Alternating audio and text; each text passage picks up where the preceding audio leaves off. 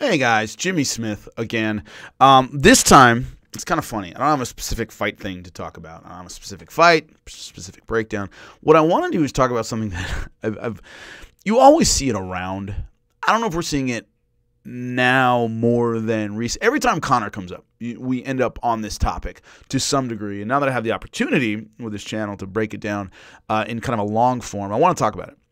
I call it the money myth, which is understandably perpetuated by the UFC, which eh, I've told a lot of people when you look at dollars and cents and how to make a living and how to make to maximize your profits, if you think with that lens, most of what Dana White and the UFC does makes perfect sense. Perfect sense. It might be mercenary, it might be cold, it might be uh, you know cruel and all, but financially, it's what makes the most sense. And one of the attitudes that you see uh, propagated a lot is this idea of once I pay fighters a lot, they won't want to fight anymore. And I've seen fans echo this, strangely enough. Once I pay fighters, they don't want to fight anymore. And you see it coming back a lot when about Conor's return. He keeps talking about, well, he has money, he has money, he has money. The obvious implication is kind of like when I'm not paying fighters a lot or what a lot of people feel they deserve, I'm essentially making sure that they fight. You get the fights you want. Fighters get paid a lot, fighters get too big, they don't want to do certain things.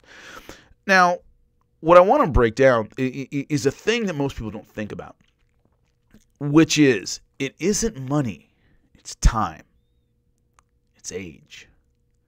One of the things that came out when uh, the UFC, obviously, with their lawsuit that's coming up, uh, it's going to be in April, I believe, in a couple months. Uh, the antitrust lawsuit. One of the things that has come up in discovery is what fighters got paid and when they got paid, right? And one of the things that was kind of surprising to me is unless a fighter had a deal, Anderson Silva clearly did, um, GSP did. He said after the Jon, right before the Jon Fitch fight, he basically held out and and wouldn't renegotiate, and was betting basically his whole career that he would beat Jon Fitch. And they wanted to resign him. He went, no, I'll resign after the you know, I'll be a free agent after the Jon Fitch fight and I'm going to try things out. Well, they came back to him with a big offer. He signed it. He made plenty of money. So what's very interesting to me is the trajectory of the money. Meaning a lot of these fighters didn't make real money until comparatively late in their careers, even big names. Names that I thought were pretty big and should have been making pretty big money earlier on weren't until much later. And everyone forgets that trajectory. What I mean by that is most athletes in contact sports and other sports, their physical prime and their maximum earning potential line up pretty well. Yes, there are some notable exceptions. Some certain athletes peak late. Uh, some athletes sign stupid contracts early on. Um, Scottie Pippen springs to mind. Wasn't making as much money as everybody else, even though in the 90s he was at the height of his powers. All this stuff. Every now and then there's an anomaly. But generally speaking, in sports, your maximum earning potential is right when you are in your mid 20s, right in your physical prime. NFL, first round draft pick, obviously signs a rookie contract, two or three years. Let's say they're a great rookie. Let's say they make a couple of Pro Bowls. Right when you're 25, 26, 27 is when you get that big contract and you're making huge money. Mid 20s to let's say early 30s. In MMA, what you can't get around is most of these fighters don't make big money until they're at retirement age. They're already in their early 30s. They're already thinking about retiring. It isn't, I've made a lot of money, I'm out of here. It's, I've made a lot of money and I'm 34.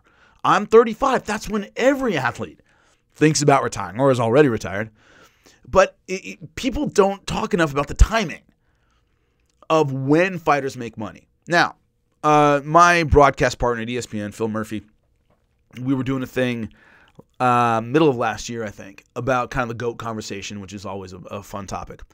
And he asked me, he said, "Why are so many of the goats, Anderson Silva, GSP, Jon Jones to some degree, uh, the the champions with the most numbers? Why are they all of the same era?" right? Why are they all of the same time period? I mean, all these guys were contemporaries, all fighting at the same time. And they, you know, was it just a golden era of MMA?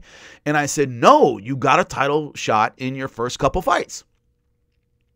So these guys came to the UFC, looked good in a couple fights, got a title shot. And if they won it, they're young. They're in their physical prime. So they get five, six, I don't know, maybe seven, eight good years as champion or contender. That doesn't happen anymore. When you look at fighters now, it's five, six, seven. I mean, look at Belal Muhammad has spent his whole career over the last decade in the UFC and hasn't gotten a title shot yet. If he fights Leon Edwards, let's say late this year and wins it, he's what, 35? 36? Like he's not going to have a long run. He just can't. you know, between 36 and 40, he's going to lose the title. So what you don't see now is those long extended title runs as much as we did back then because guys won it when they were in their earlier mid 20s. So when people talk about, oh, this fighter makes X amount of dollars, he's, he's going to retire, folks, Sugar Ray Leonard was 24 years old when he fought Roberto Duran and made $10 million. That is $40 million in 2024. 40 million fought him in a rematch, made 7 million, which once again in adjusted dollars would be in the 30s. He never had to fight again. Fights Tommy Hearns. Why? He's 25. He really wants to do this. He really wants to be number one, and I'm 24, and nothing can stop me. And I, all those things start slowing down at your late 20s, early 30s. You know, camps take more out of you. You start feeling things you didn't feel before, injuries that were a couple days now take forever. And the best expression I ever heard about jujitsu in your 40s is what hurts now hurts forever. When I was in my 20s and I cracked my wrist, I'm like, ah, oh, God damn. You know, and a couple days it was fine. You know, now I'm like, that wrist is going to be a, a, a, minor problem probably for the rest of my life. It's just what it. I got to live with it. And what you're doing is is you're the, the the returns on your fighting tend to happen right when your body is going, I don't know how long you want to do this. Now, Conor McGregor is a bit of an exception. He's a bit of an outlier. Why? He made his money completely outside fighting uh, with obviously proper 12 and all stuff. So it's almost like a fighter winning the lottery. But once again, it happened comparatively late in his career.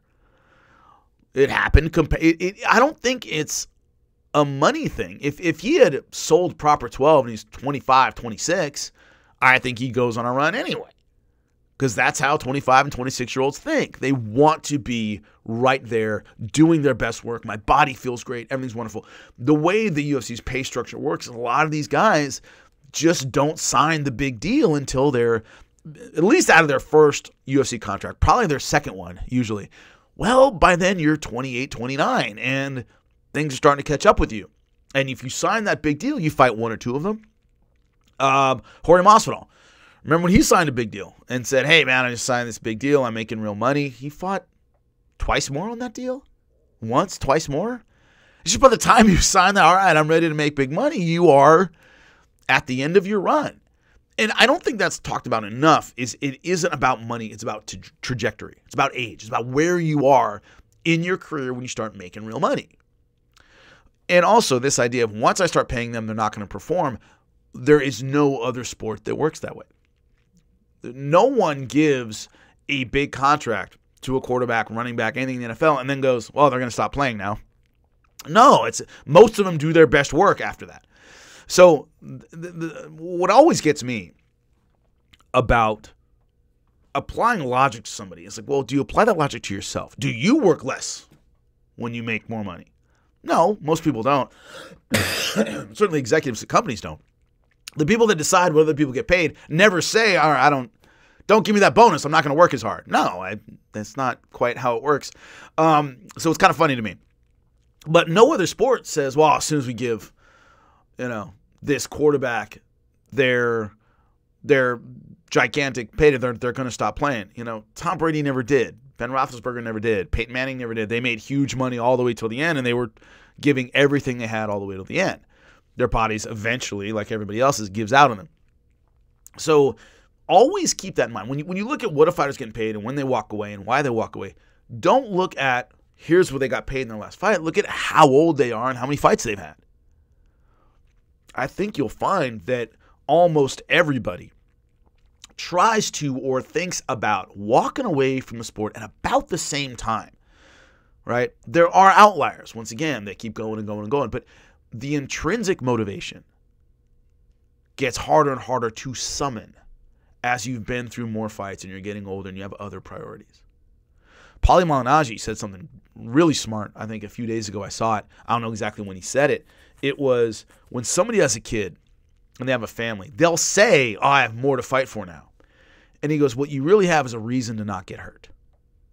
You have a reason to go home healthy so you can play with your kid and you can do uh, all the things you need to do as a father and a husband. He goes, When you're single and you're 25, you got no reason to go home healthy. Being blind in one eye for three weeks is fine with you when you're 25 because I don't really have anything to take care of. And I thought it was a, a, a it's true. I've seen it a million times in fights. And it was a uh, guy, Bryan Baker, in Bellator. He was fighting Karl Amoussou, and his wife was pregnant. And Karl Amoussou went for this sweet, like flying heel hook and tapped him out, like boom. And afterward, he told somebody in Bellator, he said, I had this sudden image of my wife giving birth and I'm on crutches and I tapped.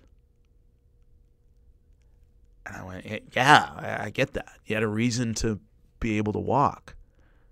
Now, if maybe if he had fought it for a second and would had been able to get out and won the fight, who the hell knows? But it's this idea of it's not money, it's circumstances, it's biology, it's all these other things together that influence these decisions. Boxers back in my day, in one fight, made 10 times more than a UFC fighter makes their whole career. And they did another one, another one, and another one, and another one. Now, a lot of them went through money, right? A lot of them just made poor personal choices and kept needing money. But a lot of them were set, you know, a couple fights in. But they're 26, 27, and they're world beaters and they want to keep going. it all changes at a certain point. So keep that in mind whenever there's a story about, well, now they have money. Well, you can have money and motivation. You can have money and the desire to be great. You can have money and all of these other things. It's when one outweighs the other that there's an issue. I call it the money myth. Let me know what you think in the comment section as always. Appreciate you.